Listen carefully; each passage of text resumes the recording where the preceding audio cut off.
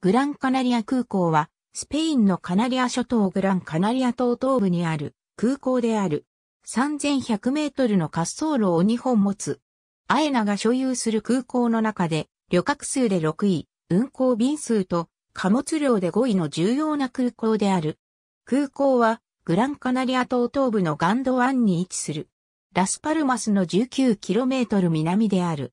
2014年には旅客数が1030万人を超え、カナリア諸島で1番目、スペインで5番目に多くなった。西アフリカ、大西洋のマデーラ諸島、アゾレス諸島へ向かう旅客にとって重要な拠点となっている。ビンテルカナリア、カナリーフライ、ライアンエアー、ノルウェージャンエアインターナショナル、ブエリング航空のハブ空港である。ツイフライ、ドイッチュランドとツイフライノルディックが、冬季のみ、カーボベルデとガンビアへのチャーター便を運航するための拠点として使用している。グランカナリア島は、二つの空港があるテネリフェ島に次ぐ、カナリア諸島からの乗客数が最も多い2番目の島です。1930年4月7日に開港。もともとは空軍施設だった。開港により、カナリア諸島への最大の玄関口となり、旅客及び貨物の運航においても最も規模が大きくなった。1946年に旅客ターミナルがオープン。建設に2年かかった。1948年に滑走路が建設され、中期上も含め完成したのは1957年だった。1963年に駐車場を設置し、ターミナルを拡大。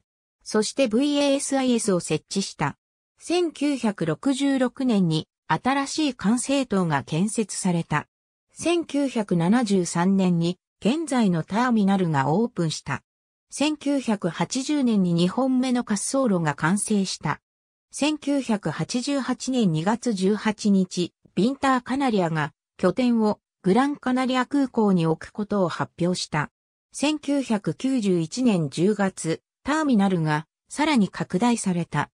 1997年、グランカナリア空港から離陸した米企業オービタルサイエンシズ社のスターゲーザーからペガサスロケットで小型衛星が打ち上げられた。2011年7月に NASA のスペースシャトル計画が終了するまで緊急用着陸地点となっていた。2015年に大規模な改修がなされ、手荷物ベルトの数が16から24に、チェックインカウンターが96から132に、ゲートが最大42増えた。ありがとうございます。